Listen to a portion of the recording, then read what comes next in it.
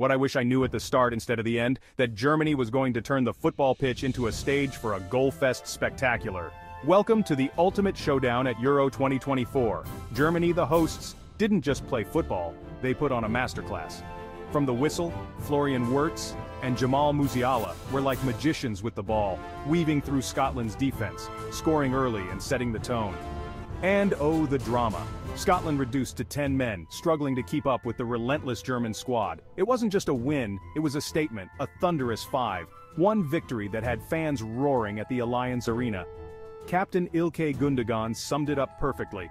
It's exactly the start we needed, and the euphoria here, it's fuel for our journey. Next up for Germany, Hungary.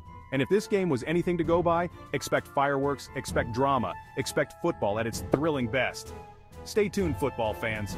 If the opening game is anything to go by, Euro 2024 is set to be a roller coaster of emotions, skills, and unforgettable moments.